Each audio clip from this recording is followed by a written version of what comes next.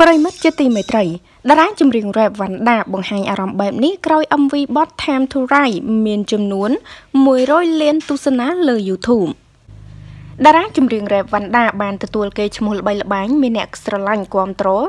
ជាច្រើននៅលើស្នាដៃបទចម្រៀងរបស់លោកដែលមិនធ្លាប់មានពីមុនមកនៅក្នុងប្រទេសកម្ពុជាយើងអាចមើលឃើញការគ្រប់គ្រងតាមរយៈបទចម្រៀង Time to Rise ដែលមានការចូលរួមដោយព្រឹទ្ធាចារ្យចាប៉ីដងវែងគង់ណៃ អ្វីដែលគួរឲ្យចាប់អារម្មណ៍បើគិតចាប់ពីថ្ងៃចាក់ផ្សាយមកដល់ពេលនេះមានរយៈពេល575ថ្ងៃហើយបទចម្រៀង Time to Rise មានការចូលទស្សនារហូតដល់100លានដងទៅហើយនៅលើ YouTube ក្រោយពីទទួលបានការគាំទ្រយ៉ាងច្រើនសន្ធឹកពីមហាជនវណ្ណដាបានសរសេររៀបរាប់ទាំងអារម្មណ៍ក្តុកក្តួលថា ជាដំបូងបំផុតនោះគឺខ្ញុំសូមអរគុណទៅកាន់ព្រឹទ្ធាចារ្យគង់ណៃសម្រាប់ការចូលរួមជាវត្តមានដ៏ខ្ពង់ខ្ពស់របស់គាត់នៅក្នុងបទចម្រៀង Time to Rise អរគុណទៅកាន់អ្នកគាំទ្រទាំងក្នុងនិងក្រៅប្រទេសជាពិសេសសម្រាប់អ្នកគាំទ្រកន្លងមក Time to Rise អាចនិយាយបានថាជាបទចម្រៀងមួយដែលប្រៀបបានដូចជាកញ្ចក់ឆ្លុះបញ្ចាំងពីការអភិរក្សការអភិវឌ្ឍលើកដំកើង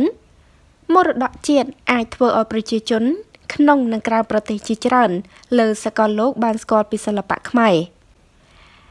ដោយទទួលបានការគោរពសាទរស្រឡាញ់និងទទួលស្គាល់វិស័យសិល្បៈនៅកម្ពុជាអរគុណទៅកាន់ក្រុមការងារទាំងអស់ដែលបានចូលរួមធ្វើជា project នេះកើតឡើងនេះជាកំណត់ត្រាថ្មីមួយទៀតសម្រាប់ទំព័រចុងឆ្នាំនេះអបអរ100លានអ្នកទស្សនារបស់ Time to Rise កាដូបន្ទាប់ផ្ដល់ដំណឹងនៅពេលក្រោយសូមអរគុណពីខ្ញុំវណ្ណដា ចានេះគឺជាវីដេអូមួយដែលមានការចូលទស្សនាច្រើនមែនតែនគឺមិនធ្លាប់មានពីមុនមកទេនៅក្នុងស្រុកយើង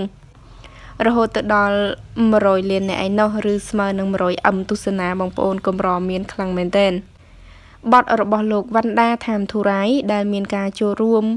ពីសំណាក់លោកប្រធាចាគង់ណៃ ពិតជាទទួលបានការគ្រប់គ្រងខ្លាំងមែនទែនមិនថាបងប្អូននៅក្នុងស្រុកឬក៏ក្រៅស្រុកឡើយគឺស្រឡាញ់គ្រប់គ្រងបទចម្រៀងនេះណាស់ហើយវណ្ណដាក៏បានបង្ហោះសារអរគុណចំពោះក្រុមការងារក៏ដូចជាអរគុណអ្នកគ្រប់គ្រងដែលធ្វើឲ្យវីដេអូនេះផ្ទុះខ្លាំងបែបនេះអរគុណបងប្អូនទាំងអស់គ្នាតេតតងនឹងព័ត៌មាននេះដែរក៏សូមបញ្ចប់តែត្រឹមនេះសូមអរគុណសូមគោរពលា